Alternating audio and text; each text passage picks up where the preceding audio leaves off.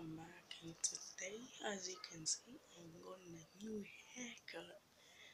Uh yeah just got a new haircut the side shaved and top a little bit shaved down. But anyway uh I'm going I'm going to my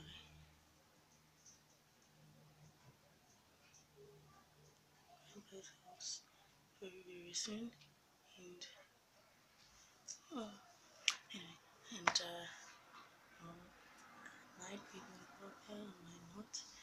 Just see what's gonna happen there. I might not be like not say anything. But yeah,